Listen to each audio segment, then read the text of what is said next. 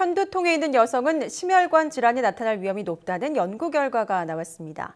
미국 하버드대학 보건대학원 연구팀은 25살에서 42살까지 여성 11만 5,500명을 22년간 조사한 결과 이 같은 사실이 밝혀졌다고 전했습니다.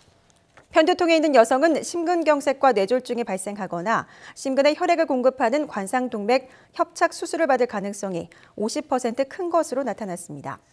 연구팀은 편두통의 병태 생리학을 혈관 내부 시스템에 영향을 미치는 전신성 질환의 하나로 봐야 할 필요가 있다고 지적했습니다.